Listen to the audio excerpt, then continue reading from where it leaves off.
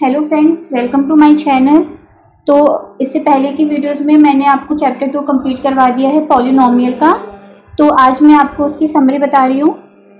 ये समरी वैसे आपकी बुक के पीछे भी दी होती है वहाँ से भी पढ़ सकते हैं बट मैं एक बार फिर भी आपको एक्सप्लेन कर देती हूँ, क्योंकि अगर कोई एक्सप्लेन करता है तो वो ज़्यादा अच्छे से समझ आता है। तो इसमें हमने पॉलिनोमियल पढ़ा था कि जो पॉलिनोमियल होते हैं वो कोई भी एक इक्वेशन हो सकती है, जैसे three X square plus two X plus one ये पॉलिनोमियल होते हैं। अब इसमें पॉलिनोमियल के भी टाइप होते हैं, जैसे कि मोनोमियल जिसमें सिर्फ़ एक ही टर्म होती है, जैसे three X four X cube nine X square ये होती है मोनोमियल बाइनोमियल्स वो होते हैं जिसमें दो टर्म्स होती हैं two X plus one four X square plus two X etcetera और जो ट्राइनोमियल होते हैं, वो होते हैं जिसमें तीन टर्म्स होते हैं, जैसे कि three x square plus two x plus one और जो डिग्री होती है पॉलिनोमियल की, वो उसकी मैक्सिमम पावर होती है। सपोज़, ये एक इक्वेशन है, इसकी डिग्री क्या हो जाएगी? टू हो जाएगी, क्योंकि इसकी मैक्सिमम पावर टू है। अगर फोर एक्स क्यूब है तो इसकी डिग्री थ्री हो जाएगी, क्योंकि इसकी मैक्सिमम पावर थ्री है। और अगर किसी भी पॉलिनोमियल में उसकी जो मैक्सिमम पावर होती है, वो वन होती है तो उसको बोलते हैं लीनियर पॉलिनोमियल। टू होती है तो उसको बोलते हैं क्वाड्रेटिक पॉलिनोमियल और अगर थ्री होती है तो उसको बोलते हैं क्यूबिक पॉलिनोमियल और अगर जैसे ये पॉलिनोमियल है, इसका हमें ज़ीरो निकालना है. सपोज़ ये एक पॉलिनोमियल है.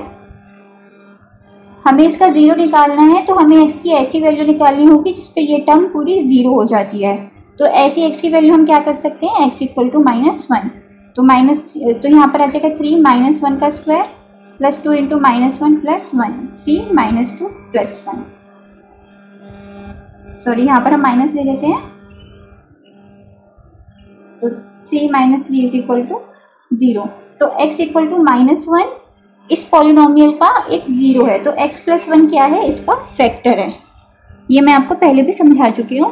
और इसके बाद कुछ आइडेंटिटीज़ आती हैं जो मैंने आपको पहले भी समझाई थी एक्सरसाइज स्टार्ट करने से पहले। वो मैं एक बार आपको दोबारा दिखा देती हूँ।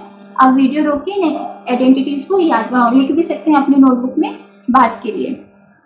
X plus y square is equal to x square plus y square plus two x y x minus y square is equal to x square plus y square minus two x y x square minus y square equal to x plus y into x minus y x plus a into x plus b is equal to x square plus a plus b into x plus a b x plus y plus z का whole square is equal to x square plus y square plus z square plus two x y plus two y plus two z x x plus y cube equal to x cube plus y cube plus three x y x plus y x minus y cube equal to x cube minus y cube minus three x y x minus y और इन दोनों bracket को अगर आप खोल के भी एक आइडेंटिटी बता सकते हैं, जो मैंने आपको एक्सरसाइज में बताई है, और उस पर बेस्ड क्वेश्चन भी सॉल्व करवाए हैं, अगर आपने वो वीडियो नहीं देखी है तो आप जाके देख सकते हैं लिंक आपको डिस्क्रिप्शन बॉक्स में मिल जाएगा।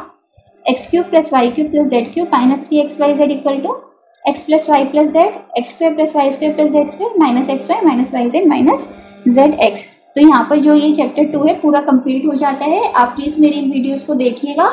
और अगर आपको कंटेंट पसंद आता है तो आप इसे ज़्यादा से ज़्यादा लाइक एंड शेयर करें और मेरे चैनल को सब्सक्राइब करना ना भूलें। Thank you so much